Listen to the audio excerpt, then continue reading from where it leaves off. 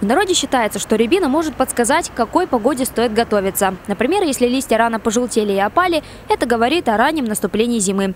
А если ягоды покраснели раньше срока, зима наоборот будет поздней. В этом году все происходит вовремя, вот только урожая больше, чем обычно. И это снова примета – зима будет суровой. А вот биологи уверены, совсем не рябина влияет на погоду, а наоборот – Прежде всего, лето было очень теплым, оно было достаточно влажным вот во время завязывания плодов, и поэтому получился вот такой высокий урожай.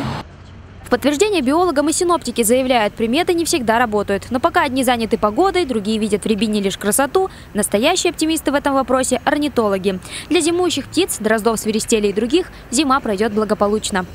Многим птицам приходится довольствоваться на самом деле практически только вот, вот одной рябиной, может быть немного яблоками. На самом деле они могут еще и почки э, некоторых э, деревьев, кустарников кушать. Но вот, тем не менее, рябина это такое у нас массовое, что ли, столовое.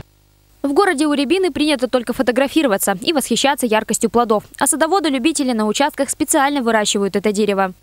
Рябина – это пищевое растение. Рябина введена в культуру. На самом деле существует много популяций и форм рябины сибирской. И специально отбирают э, более-менее сладкие формы. А вы знаете, что э, ну, как в свежем виде плоды горьковатые, но после заморозков они становятся более сладкие. И поэтому, да, э, в народе, по крайней мере, делают пастилу, делают э, соки.